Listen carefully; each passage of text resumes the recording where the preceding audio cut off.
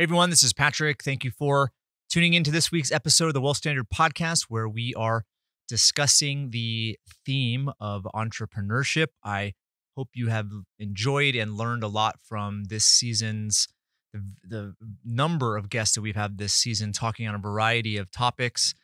It I, I definitely have learned a lot, and today it's no exception. This is an individual that I uh, when I saw him scheduled as a as a guest, I was really excited. It's someone that I have followed uh, for quite some time, and I believe you are going to learn a, a lot from him. So I'm going to introduce him first, then talk about what I what I wanted to get out of the interview, what I was uh, trying to um, learn from from him, and I'm hoping that you also are going to learn the the same thing, potentially something different. Um, so I'll discuss that in a second. But my guest, his name is uh, Dr. Richard Rahn. He he is currently currently the chairman of the Institute for Global Economic Growth, and was the former is the former economic advisor to uh, President George H. W. Bush and uh, vice president and chief economist of the United States Chamber of Commerce during the Reagan administration. Uh, he's also a former senior fellow at the Cato Institute, and he is uh, currently uh, consulting, writing for the Washington Times. But all of the links to follow Richard, learn more about his work, you can go to uh, thewealthstandard.com. And in the show notes, we have it all there.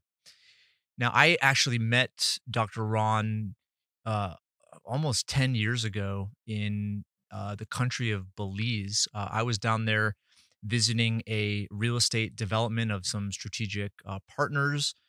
And he happened to be down there as well, advising the Belizean government. And so we were able to, uh, the group I was with was able to coordinate a dinner with Dr. Rahn. And I still think about that dinner and some of the things that were discussed uh, in relation to uh, Dr. Rahn's uh, involvement, not just in what Belize was doing, but also a lot of other countries, especially uh, in the uh, former Soviet Union, helping to consult with uh, establishing the infrastructure for those countries to to thrive. And and I didn't necessarily I didn't know what I didn't know. And back then, that conversation really sparked some ideas in my mind. And and I thought about him um, and just develop more and more respect and admiration for what he has uh, done with his career. He's consulted with numerous governments and has truly made a, made a difference. And that's what we get into today. Now, now, the reason why I wanted to to bring him on, and what I'm hoping you all gain from this is you know, and understanding this this role of an entrepreneur uh, and the nature of the structure in which they operate, I, you know, I've come to realize that there are there are these entrepreneurial uh, instincts uh, in in most human in beings, maybe all human beings. I don't know, uh, but I look at the how vital the environment is, and Dr. Rahn goes into what I would say the hierarchy of the uh, the structure of economies, the structure of societies in order for the entrepreneur to thrive. If not, they're gonna they're gonna leave, and the growth of these specific uh, economies or societies will be will be stifled without the structure. And it was it was fascinating. And the reason why I wanted to you know have him talk about certain things was I believe today there isn't necessarily a respect uh, for the structure because nobody you know I would say especially in the United States very few people have actually um, experience the other side of the spectrum or the lack of a structure in which their entrepreneurial spe- uh, uh, pursuits could take take root and take hold and, and grow. And I'd say today in our day and age, you, you find that there are there's a lot of divisiveness with regards to political stances and perspective. And this divisiveness, I believe, is creating camps and people are joining camps or aligning with camps without really understanding the fundamental reasons uh, you know behind certain stances on economy. It's more you know that this person believes this way therefore i'm not going to give any regard to the structure in which they believe or what they are advocating as a, the the right you know political or economic environment because they have this name or wear this hat or wear this label i'm not i'm going to completely discount them i think that's where where we are as an american society is we've joined these camps more off of uh, emotion than off of actually reason and logic. And I look at going forward and how amazingly entrepreneurial the United States is, and and I you know I would say for those of you listening, you as entrepreneurs, is to be able to have an understanding of all sides of the spectrum when it comes to the appropriate structure, the economic environment, the political environment, uh, the monetary environment, so that we can defend based on principle instead of defend based on rhetoric and talking points and and and that's where I believe most people are are at. Now, I I look at this conversation as um, someone who has experienced uh, the uh, pros, the successes of certain structure structured uh, economies and societies, as well as uh, the failures. And I think that uh, within you know the failure side of things, you really learn a lot about what works and what doesn't. And so I know we didn't have a ton of time, but as I researched the uh, this interview and and and watched videos and read articles, especially in the Washington Times, where he talks uh, almost every week about these topics. I I really uh, just kind of gained a admiration for how he looks at things and what he's saying. And so it's uh, it's awesome. I think you guys are going to learn a lot from the podcast, but also learn a lot if you uh, follow Richard and what he is up to. Now, if you're listening for the first time, we did a, a several months on the theme of entrepreneurship. Uh, previous to that, we did a uh, four months on capitalism uh, in 2018. We did seasons on the uh, idea of, of life, liberty, and property as it pertains to one of the more famous uh, quotes and points of uh, the uh, John Locke, who is a, a British uh, philosopher. And and so if you if you like what you're hearing now, definitely go back and uh, listen to those. We'd love your feedback on the podcast. If you guys want to give us some review, good reviews on iTunes, that would definitely help. Share the episode with your uh, friends and family. That'd be amazing. You guys are you guys are awesome. Been so supportive and uh, grateful for that support. All right, so let's uh, let's go ahead and get to the interview with Dr. Richard Rahn. Hey everyone, Patrick here. Listen, most of you know that I wrote a book last year called Heads I Win, Tails You Lose: A Financial Strategy to Reignite the American Dream. And the book has has sold tens of thousands of copies. We're really excited about it. So for those of you who are new listening and haven't had your chance to pick one up, you guys can actually get it for free. So if you head over to thewealthstandard.com forward slash book, then all you have to do is pay for shipping and you will get your uh, copy for free. So head over to thewealthstandard.com forward slash book. Thanks for the support. Uh, Richard, it's it's awesome to have uh, have you on. It's it's something I've been looking forward to for quite uh, some time now. We met uh, a couple of uh, well, a little more than a couple of years ago, but I've been intrigued with the work that you've done, and I've been, like I said, looking forward to asking you some of these questions. So welcome, uh, welcome to the podcast. Thank you very much. Great to see you. Be with you. So, Richard, what you know, the the thing that has really kind of piqued my interest in regards to some conversations we've had had in the past is in relation to the perspective you have on successful and unsuccessful economic environments. Why they, why certain societies succeed, why why certain societies fail. So, what you know? Maybe to start out by uh, by telling the audience or teaching the audience some of the reasons, maybe the universal reasons for uh, these outcomes. Well, it's it's interesting when you mention universal reasons because it is indeed true that if you look at successful countries, uh, you find them over the globe, and you find countries that are failures over the globe. And it has nothing to do with nationality or um, climate or where they're located on the globe. It has all to do with fundamental policy. And we have great success stories, of course, not only the US, but Switzerland, Singapore, even Ireland now, and uh, places that have very high incomes. And then you have places, well, Venezuela now is the poster child for a country that was rich, had the, uh, has the world's largest oil resources, and now is the bottom of economic freedom, and incomes have been rapidly dropping for a number of years. And so the place is impoverished just because of policy. But when you start off, the key policy is the rule of law. And without the rule of law, nothing else works. And a lot of us who are economists like to talk about taxes and regulations and so forth, monetary policy. But even though you have an ideal tax system, if you don't have the rule of law, it still won't work. And um, fortunately, the British, when they built the British Empire, there was a lot of downsides of that. But one thing they left around the world was um, the British legal system, the common law system. And many places it took and uh, worked very well. You know, each country adapted it somewhat to its own needs. And other places, it got corrupted and didn't work. Uh, you and I were in Belize a number of years ago. It's a prime example of a British territory that was given the rule of law and an honest court system, but they managed to corrupt it and destroy it, and the place remains poor. Uh, once you have the rule of law, you've got to have a competent and honest judiciary to carry it out. The importance of having honest and competent judges can't be understated.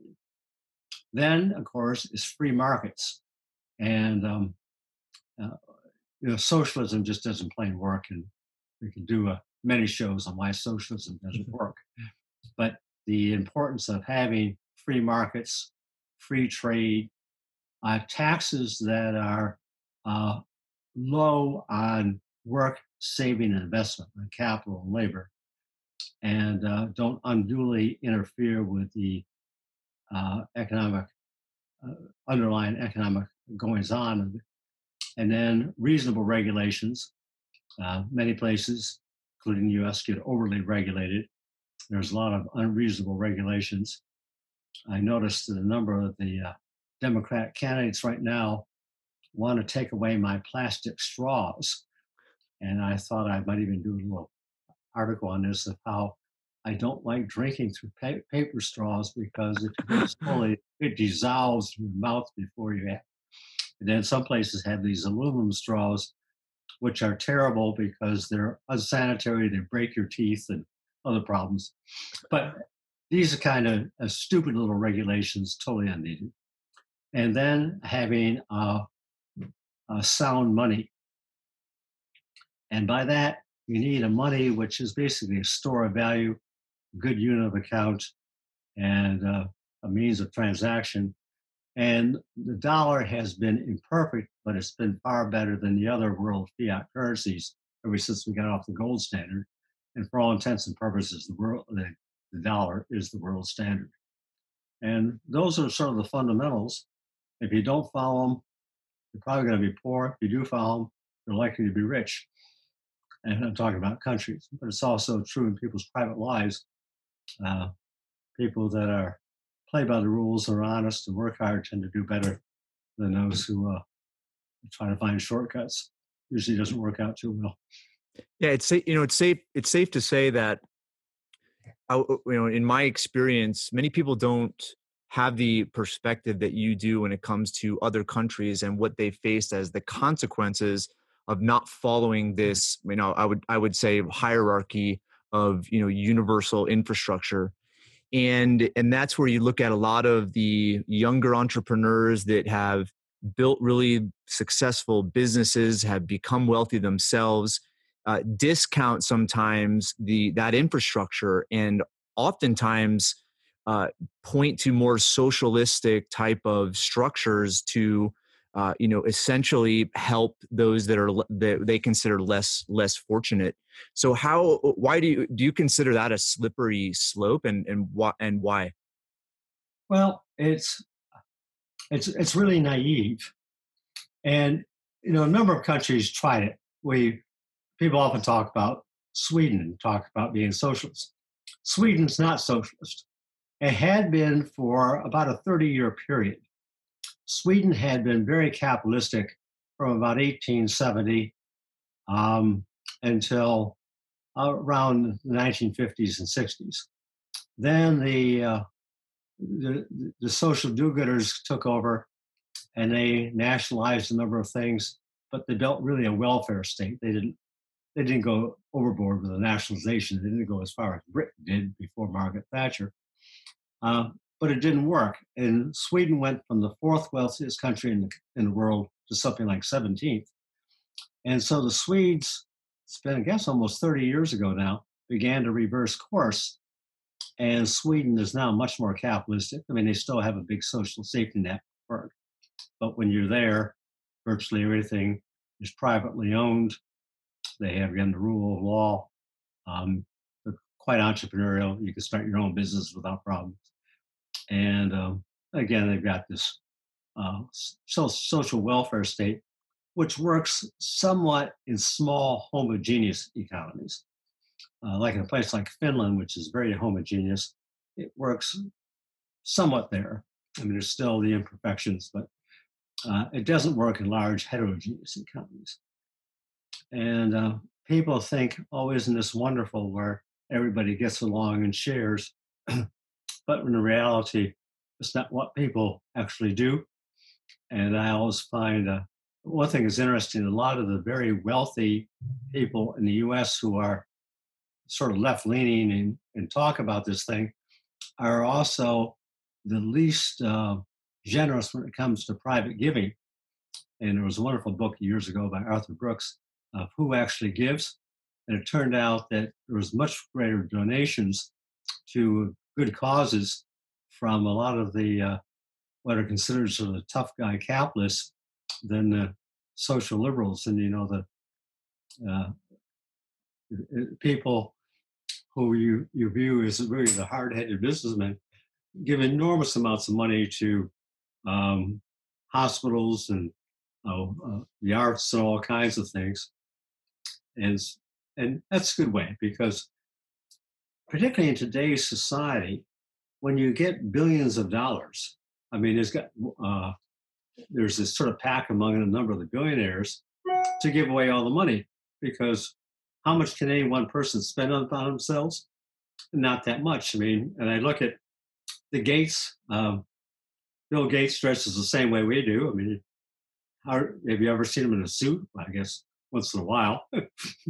and um, you know, you might have a, a bit nicer car. The one thing they have is a private jet. That's the one thing I've, uh, I've uh, always sort of like. But for the most part, uh, anybody who's successful, they really can't eat more. And there's sort of a, a, a maximum size house you want.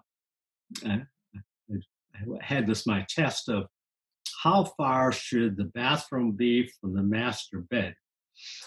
And um, because he had some of his houses were being built um, that the bathrooms were such a distance from the um, the bedroom that you had quite a trek. And I noticed this is now shrunk back down to a reasonable thing because people, particularly as they get older, have to get up in the night or whatever. Kids, no, they don't want to walk 200 feet to the bathroom. so, but the point is, there's an optimum with all kinds of things. When a society becomes sufficiently wealthy, um, there's no sense in overdoing anymore. And again, I, I was looked at Steve Jobs with a T-shirt. I mean, the billionaires in Silicon Valley, they're T-shirts, and they, you don't see. Uh, I mean, a few of them have a, a, massive house, but a lot of them don't.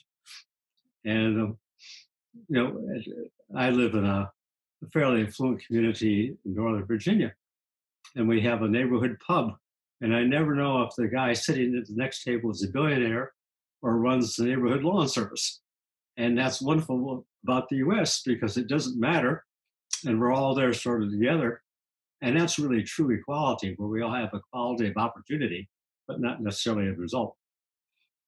Yeah, there's a there's a saying I heard a number of years ago that uh, the secret the secret to living is is giving, and you know I, I, I was really intrigued when a local kind of a local billionaire to uh, to where I'm at uh, passed away a few years ago, uh, Jon Huntsman, and he had you know chem, a uh, chemical company and he was very entrepreneurial. Had a, a, one he founded one of the first uh, really renowned cancer mm-hmm. cancer hospitals and and that's what he said in his uh, biographies he talked about how he he became wealthy because he just learned to, the the satisfaction of giving at a very early time and he realized that the more he grew the more he could contribute and give.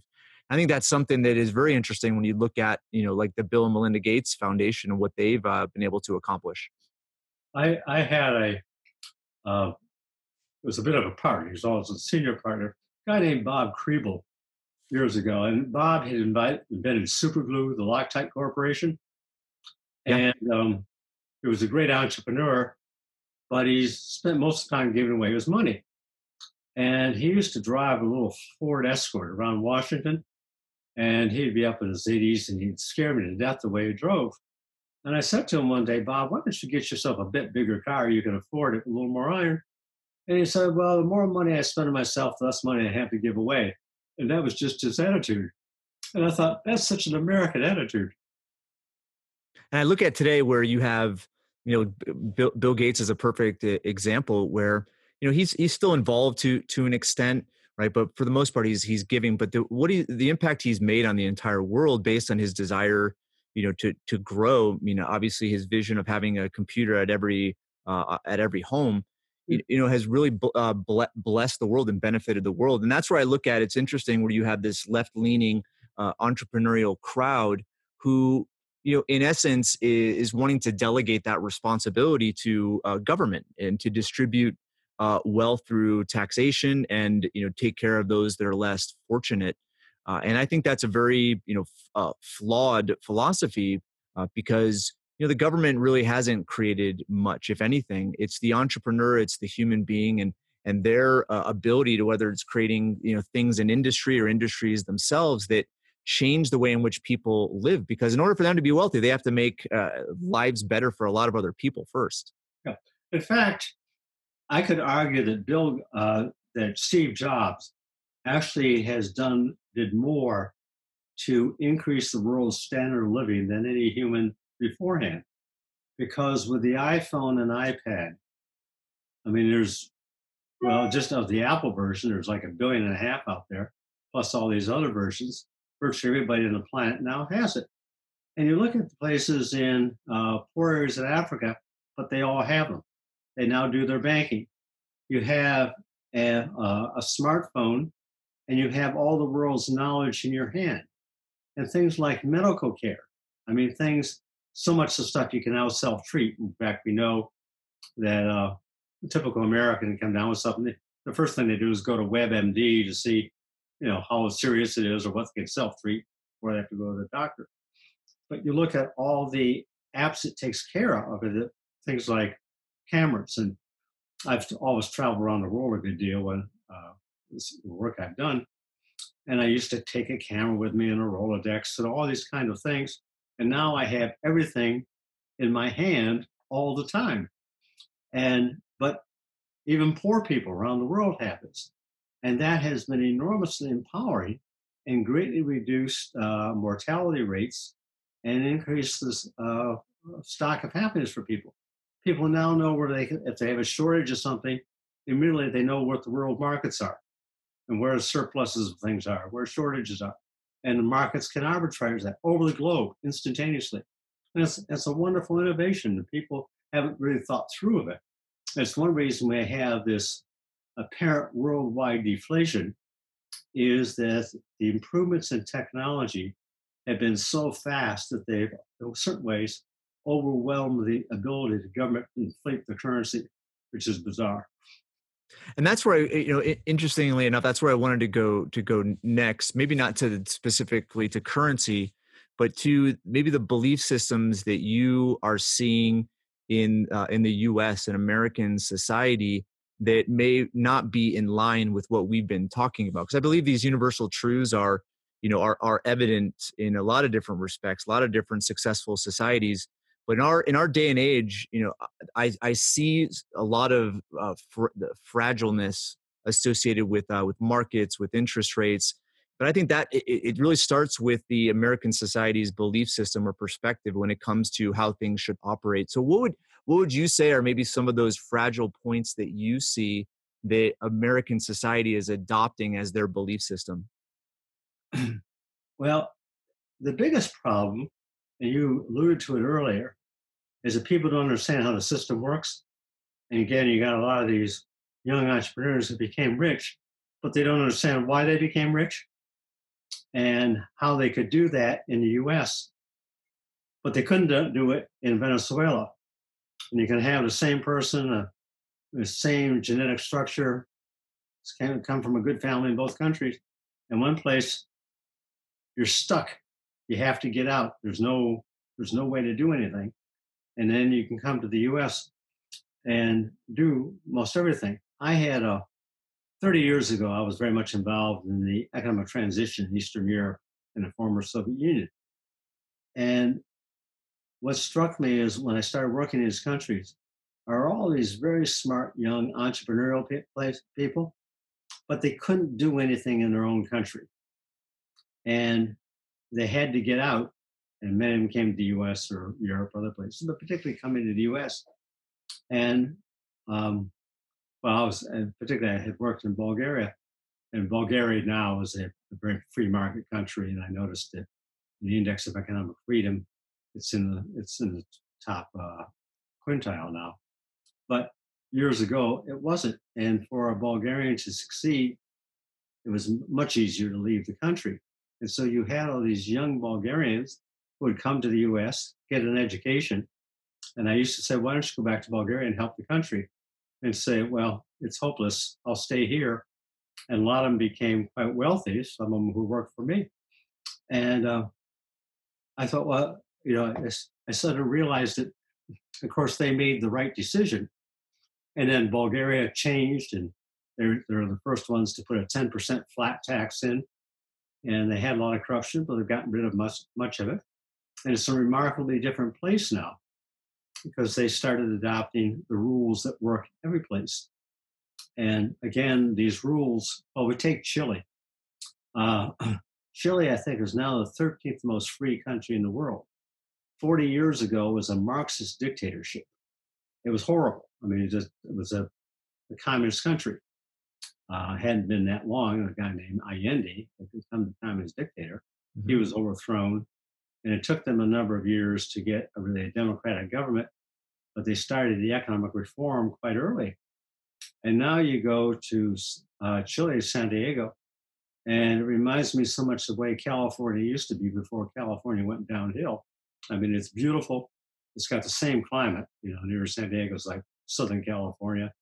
It's uh, it's the, the, mountains come up from the sea and beautiful beaches and just it's gorgeous and the, the vineyards and they grow almost everything. And you see that change where a country again was a poor Marxist dictatorship and now is the wealthiest country in South America. Same people, only thing was different is the systems. So if you what I, what I find fascinating is polarity oftentimes gives you a different perspective. When you when you've experienced what it's like to have a dictatorship i think the value that's placed on freedom is so much it's so much greater. And i look at how i characterize the perspective of the united states is we don't have polarity we've had freedom we've had success we've had an infrastructure for so long that people have discounted its nature and subsequently now are, are questioning its uh, its nature. Do you do you see the same thing or, or maybe something different? No, I think you put your finger on it. We look at what's happening in Hong Kong right now. The people who are the citizens of Hong Kong are uh, most of them are the descendants of people who came over in the late 40s, 1950s, and things from China. Uh, if they didn't directly experience communism, their parents or grandparents did. They know what it's all about. You don't have to explain it to them. And you look at how they're risking everything. They're unarmed, and every weekend, every night, they go out there and are protesting uh, what may seem like fairly minor issues, but they're not because they understand that once they start to lose some of these things, there is a slippery slope and they'll end up looking like China rather than Hong Kong. And um, uh, you can see they they don't want to go back, and uh, uh, I worry about the situation. But the fact that these people have this courage, again, without any um, weapons or anything, but just go out there and confront the authorities night after night after night and demand to keep the freedoms that were given to them on the uh, basic agreement between the British and Chinese, the 50 year agreement. So we'll see what happens. Yeah, that fighting again the fighting again comes from that that understanding of what it's like to have the uh, the opposite and obviously their you know neighbors is china now if you look at you know with uh with regards to one of the those universal fundamentals that you had mentioned. I know that you have some experience here, which is which is currency, a sound a sound monetary system. And I look at you know what's going on in, in our country, and we've benefited from from so much. Yet at the same time, there's a great cause for concern with with uh, the deficit spending, with uh, the you know, future obligations of Medicare and Social Security, and the way in which that is operating. And and you had some uh, I know communications with a lot of the the Silicon Valley folks that were looking at you know internal payment systems associated with you know cryptocurrency or blockchain and figuring out new ways in order to uh, to make exchanges, which would not only uh, create more efficiency with exchange, but would ultimately reduce the the central influence and power around that type of exchange. Would you mind speaking to that? Um, no. Uh, central banks, excuse me, uh, central banks are relatively recent phenomena, and they're actually going to be a short-lived phenomenon.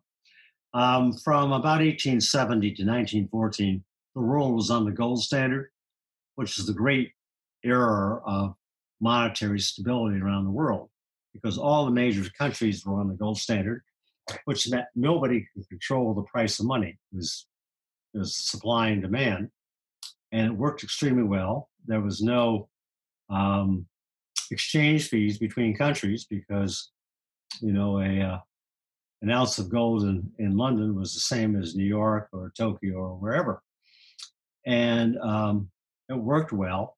And the reason it fell apart is because when they went into the First World War, the countries needed to borrow a whole lot to engage in war.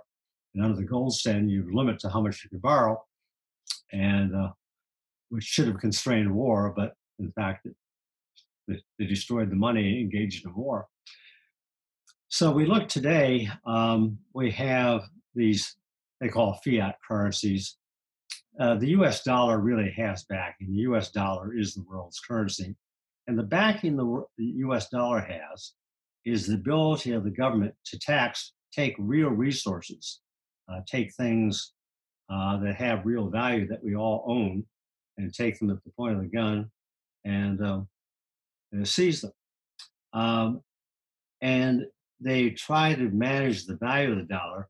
We're seeing they can do this less and less well.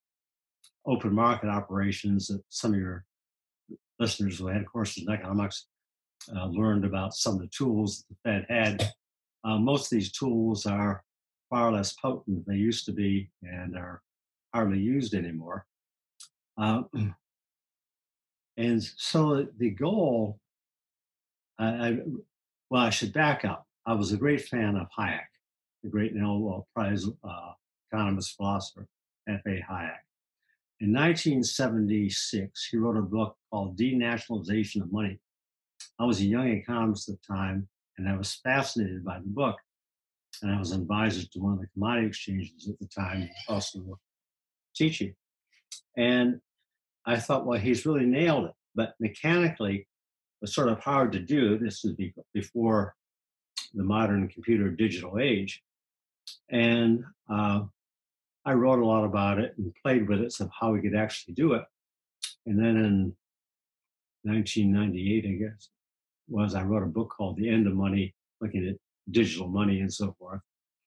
And eventually, of course, 10 years ago, the blockchain came along with uh, uh, you know, the first of the uh, with Bitcoin and the early cyber currencies. So the, the question is, where is all this leading? And start with the basic goal would be to have a worldwide monetary standard which would make trade and investment very easy around the world. With these big fl- uh, fluctuating exchange rates, think if you were a German chemical manufacturer and the price of the uh, euro, which the Germans use, goes up and down considerably against the dollar. Um, do you put your plant in Louisiana? Do you put it in Hamburg, Germany? Do you put it someplace else?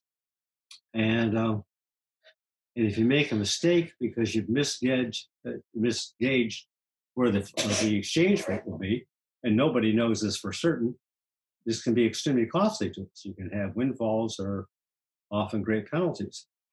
Um, if you had a constant currency throughout the world that everybody used, um, that problem goes away. And uh, a lot of these investment decisions, which are most difficult to make, basically disappear. And you'll put your money where it makes the most sense, given, again, raw materials and markets and so forth. And that is the great promise of the cryptocurrency digital age. So then you have a debate of what should be behind a cryptocurrency. And with Bitcoin, it's nothing but on a computer algorithm. And they've kept the scarcity by the system they have. And you have to mine the new ones that ever increasing cost. And uh, they have, well, I guess it's 21 million. Um, but it, there's nothing sort of real there. And I always fear that someday somebody will actually figure out how to hack it. Nobody has to date. But things can go wrong, or you have a meltdown of the uh, rural electronic system for some period of time. Won't be permanent, but you know these you see these science fiction things, and not not all of them are so science fiction of the electrical grids going down and so forth. Well, if a currency has nothing more than a, a computer algorithm behind it, you'll have many more problems than I think are necessary. A lot of people recognize this problem. They're trying to do cryptocurrencies, but have real backing, like with gold or silver, traditional precious metals. But these are heavily regulated. And I've argued that you can use uh, almost any standard commodity, things that are traded in organized futures markets around the world. Uh, we've had the standards for a good long while. In fact, I and a few others have created a company which we will do an aluminum backed uh, cryptocurrency. Now, that may sound ridiculous because aluminum is inexpensive, it's found everywhere, but it has a number of great advantages. It's never going to be worth zero.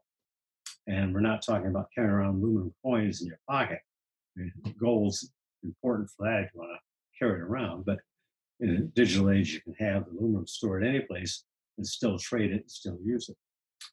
Anyway, I think this is the way we're moving, and I've been putting my money and time where my mouth is on the whole thing.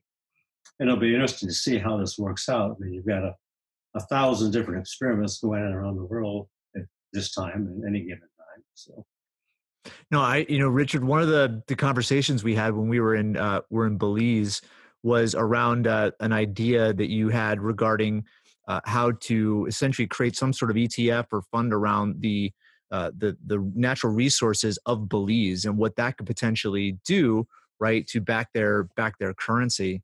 So it sounds very in a, in a similar way what you're what you're talking about right now, having something that backs a cryptocurrency. What I was talking about there was a, a standard currency board. I used to be on the board of the Cayman Island Monetary Authority, and they've got a currency board there. The Cayman dollar is fixed to the U.S. dollar, and so those as on the board, we manage that. It was easy just have a fixed exchange rate. Years beforehand, I'd done some work in Estonia, and they had a number of natural resources. And after the, the Estonians were trying to figure out how to establish a new money, and they had some gold in the Bank of England and the Fed in New York, and they had a lot of timber and oil shale and so forth. And they were able to put together a currency board, which gave total backing for our currency. It wasn't cryptocurrency, it was just a, uh, a normal currency at the time. And the currency boards have been, a lot of them have been set up in Eastern Europe with the former communist countries. And they work very well for uh, sort of mid sized countries because they get the the monetary production outside the political process, like Bulgaria's got one, and it's basically fixed to the euro. So um, Bulgaria can inflate its way out of problems. It's caused Bulgaria to have a, actually a very good fiscal policy. Before they had the currency board, they went through a couple episodes of hyperinflation. Mm. And back when I chaired the transition project, back in 1990, I argued for a currency board then, but they had to go through these bouts of inflation before uh, I remember I got a call one day and said, Richard, you know that idea you had for a currency board, maybe we're ready for it. And that was 1997. has worked very well since. Well, that's the polarity idea, right? It, where ideas and solutions uh, could could be valid, but if that's the only thing that a person sees, then you know it, it may not be relevant at the time. But when they go through some sort of a crisis and experience not having it uh, or something like that that could have prevented it, that's when they value it more. And that's I would say one of the you know maybe last things we can uh, talk about before uh, before we end of this fascinating conversation is you know just where where we stand you know with the the, the fragile nature of uh, potentially uh, America and what we experience. I know we have a lot of strength in so many different uh, areas, but do you do you do you look at where we're at as a as a society and identify one uh, one part of it or a couple parts of it that are more fragile than others? Yes, I mean the big, the most fragile part is this notion of getting stuff for free, and the idea that you can have free medical care and free pensions and so forth. These don't have to be actuarially sound. And that always ends up a disaster every place in the world has ever tried. And it's like these people, when I listen to these debates, it's like people have read no history. I mean, it's, it's quite astounding to me that they think they can just do this. I mean, some of the cr- crazy things Bernie Sanders comes out with, it's like the Soviet Union and all of the other places never existed, or or and maybe in his mind they worked perfectly. For those of us who had been there, no, that was not true. It, it impoverished everybody. Um, but we look at uh, Social Security now. We have to make adjustments to the system as we age as a society. When uh, Social Security was first developed in the 1930s, there were about 12 working Americans for each person on Social Security. Now we have about three. And that, that ratio will continue to decline.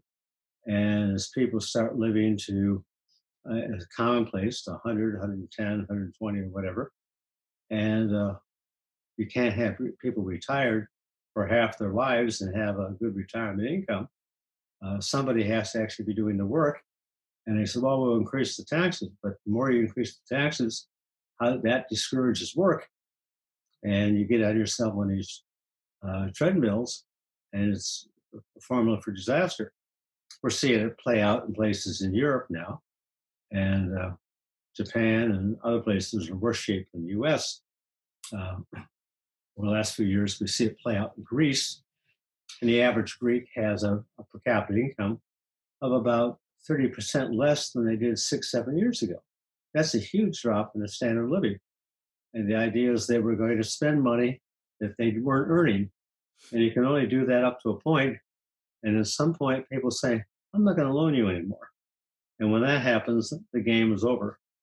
And that's what I fear in this country.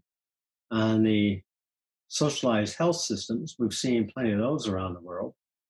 And you tend to get inferior care, queuing, and then they always end up with two sets. I mean, I look at Britain and other places, there is a medical system for the people who are wealthy or willing to pay uh, for their own, which is pretty good. It has decent hospitals and state of the art. And then there's the medical care for their, everybody else that's quote free, but it's like the VA system. Do you really want to go there? And one of the great changes the Trump administration made is now people, the VA have a choice. You can either go to the VA or go to your own doctor. Call the VA and they say, well, we can't see you for six months. You go to your own doctor, and they just send the bill over to the VA, which is a much better system. Well, it, I kind of refer to what's going on sometimes as uh, as like psychological warfare because it seems that you know rational thinking has been thrown out the door and it's you know demagoguery and, and rhetoric that has taken over and it's the hot buttons it's the trigger buttons that you know force people not force them but ultimately get people to react emotionally. And and when that exists you know you throw rationale out the window because you know history has shown what some of the things that are being proposed have done to societies. But yet history and reason really have nothing to do with the conversation anymore it seems. Mm-hmm. well um, no I, I thank you for giving me an opportunity to speak to your audience. Well why don't you because you're still active and you are still uh, writing. Why don't you tell people about what you're doing with the uh, the uh, the Washington Times and uh, and other you know other ways in which people can uh, follow you and keep up to speed with what you're talking about? Well, I do a column which is published each week, every Tuesday morning in the Washington Times. I've done that for 20 years. And you can find it on the Washington Times website or the Institute for Global Economic Growth.org. .org. And, okay, I think you've got all the information on that. And it appears a lot of other places. If worst comes to worst, you just Google in my name and uh, you'll find, or it's on Twitter, Facebook, you'll find uh, 2,000 columns by me of, and uh, my ideas of the week. So.